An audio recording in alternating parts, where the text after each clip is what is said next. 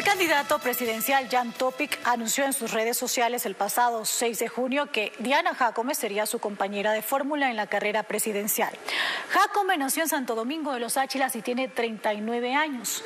Es abogada y periodista.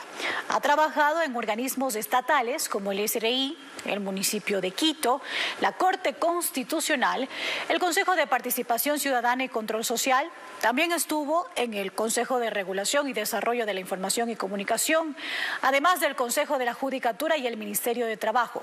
Ha pasado por distintos canales de televisión como Gama TV, Ecuador TV, Televicentro y TC Televisión. Lenin, un amplio currículum con el que se postula a la vicepresidencia.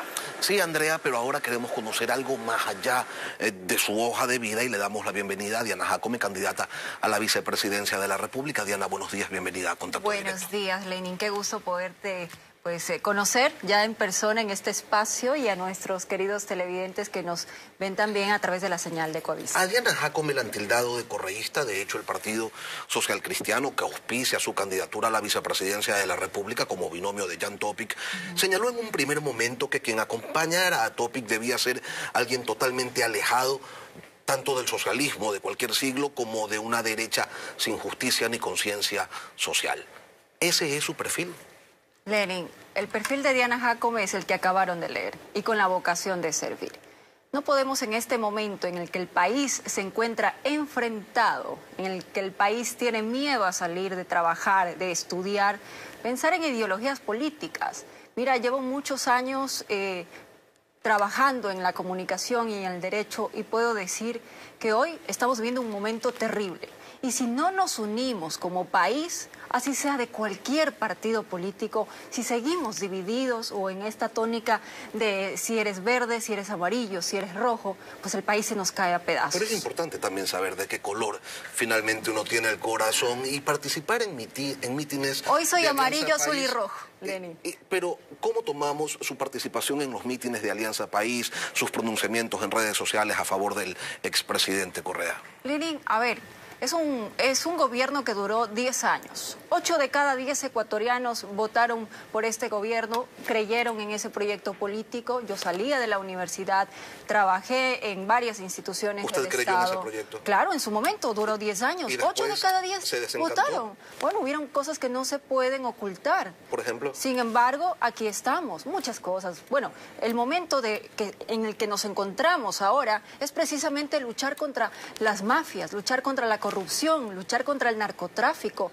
A ver, ¿qué es lo que pretenden ahora? que todos estemos divididos, que el pueblo ecuatoriano esté dividido y no se una para borrar todo el pasado que a algunos les molesta. Está bien, hay que avanzar. Si seguimos en esta tónica de partidos políticos tratando de ver a dónde llegamos por intereses personales, el país no sale adelante. Estamos en terapia intensiva. Sin duda, Diana, hay que, hay que estar unidos.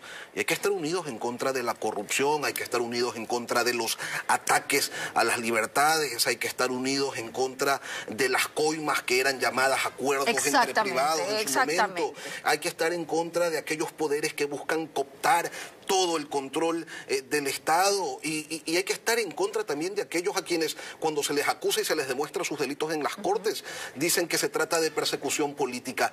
¿Usted está también en contra de aquello?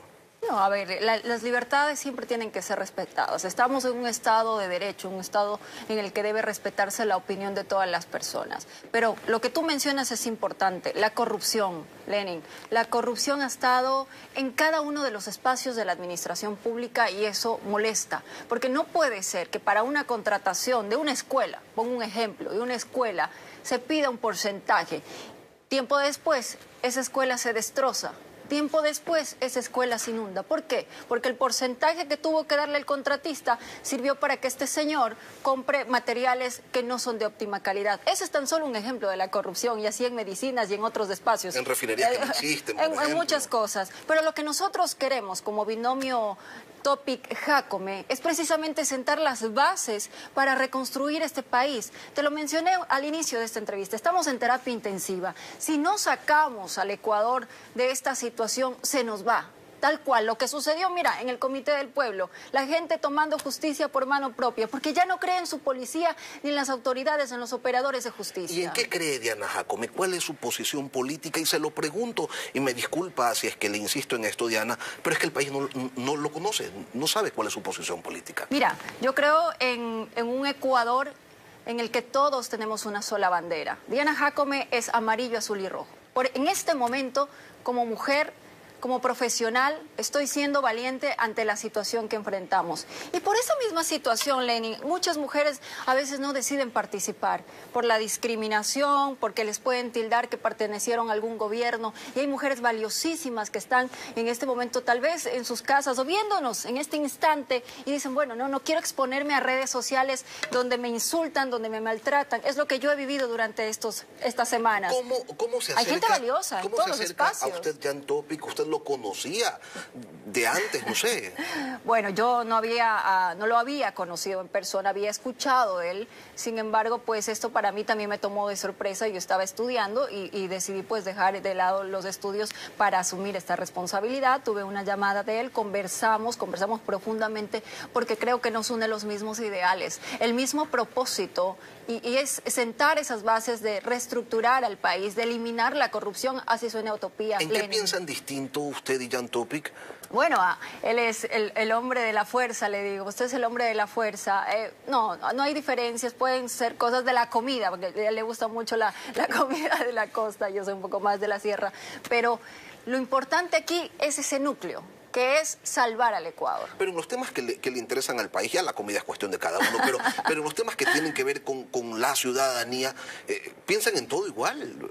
Por ejemplo, tienen posturas similares en relación a cómo se tiene que manejar la seguridad, en cómo se tiene que manejar la seguridad social, en, cómo, en, qué se tiene que hacer con el Yasuní. Eh, o sea, tienen un criterio unívoco. Hay, hay claridad en esos temas, sobre todo en seguridad, ya que tocaste seguridad. Mira, la decisión política que ha faltado en estos últimos gobiernos es evidente y es por ello que hoy vemos enfrentamientos de la ciudadanía contra los delincuentes. La policía o sea, los delincuentes están más armados que la policía. Entonces la policía prefiere no actuar.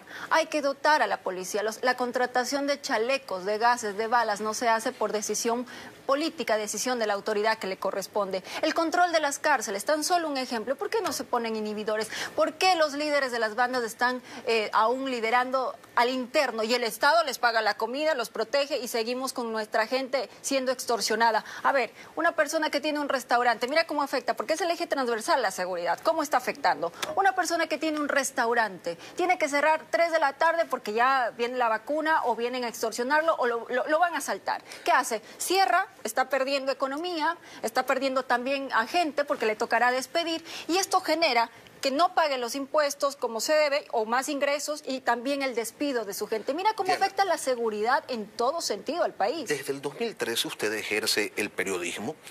Y hay una narrativa en este país que quiere posicionar la idea de que antes, con sobreprecios, con criminalización de la protesta social, con elefantes blancos, con refinerías invisibles, con autoritarismo, con tramas internacionales de corrupción, estábamos mejor. ¿Cuál de los casos que usted presentó eh, como periodista le llamó la atención, la marcó, le hizo decir en su foro interno, esto no debería quedar impune? Hay muchos casos, Lenny, y no solamente del tema, el tema de corrupción, en temas sociales. Hay temas que como presentadores, como periodistas, nos llegan al corazón y también nos hacen reflexionar. Y por eso mismo, por eso mismo, Lenin, yo estoy aquí, porque sé la realidad que vive el país, porque sé lo que necesita en este momento el país. Y hay muchos, te podría enumerar, llevo tantos años en el, periodismo. temas sociales, temas sociales, tema de también de, de nuestra gente que trabaja diario y que hoy se ve víctima de la delincuencia. ¿De los políticos hay alguno que le haya llamado la atención y que esté hecho, saben que ya está aquí, o sea, esto es demasiado? hay muchas cosas. Yo creo que la justicia es la determinada a, dar pues el punto final en ciertos casos de corrupción. Eso no podemos, no podemos tapar el sol con un dedo. Hay corrupción, la justicia se ha pronunciado y pues eso debemos respetar. Y ya que habla de la justicia en su hoja de vida, señala que eh, usted trabajó en el Consejo de la Judicatura como coordinadora de disposiciones del Pleno. Así es. Eh, Diana, para mejorar la compleja situación de esta función del Estado, en donde la gente no cree en la justicia, ¿Es necesario volver a meter las manos en ella o qué se debe hacer? A ver, hay que ser respetuosos con la independencia de los poderes del Estado. Cada uno tiene sus funciones y atribuciones y hay que saberlo manejar. Creo que el Ejecutivo en estos 16 meses que tenemos, Lenin, es primordial centrarnos en lo nuestro y cada función hacer lo suyo. Aquí no podemos interferir en las funciones. Cada persona tiene su responsabilidad y nosotros tenemos que correr. El reloj está corriendo, Lenin. En 16 meses debemos salvar al Ecuador, sobre todo lo que te dije, el eje transversal, seguridad que deriva en economía, que deriva en turismo, que deriva en educación y sobre todo en el futuro de nuestros niños y niñas. En estas pocas conversaciones que ha tenido con Jan Topic, y digo pocas porque se conocen hace poco, eh, él, él, le ha contado cómo es que llegó a su cuenta en Merrill Lynch 13 millones y medio de dólares. Bueno, yo, yo quisiera que tú lo invites a él. Yo confío en un hombre con el que me senté a conversar y Pero él explicó, lideramos los mismos compromisos. No, yo no, yo no tengo ningún conocimiento sobre ese tema. Si quieres, invítalo y pregúntaselo a él. Bueno, pero debería usted también consultarle, ¿no? Porque vamos que es un caso pero es un hombre, es un hombre transparente, es un hombre con, con mucha experiencia y eso es lo que debe contar. Un hombre que no está tachado por corrupción. Ah, yo confío en él y creo que el país tiene también que confiar en un hombre nuevo, capacitado en seguridad, capacitado en economía, no es un improvisado y eso es lo importante. Eso es lo que necesita un hombre con pantalones, un hombre con determinación y disciplina y conocimiento. Honesto sobre todo, porque hoy necesitamos personas así en nuestro equipo y en nuestro país. Diana Jacome, candidata a la vicepresidencia de la República. Gracias por acompañarnos, Diana, hoy aquí en Contacto Directo.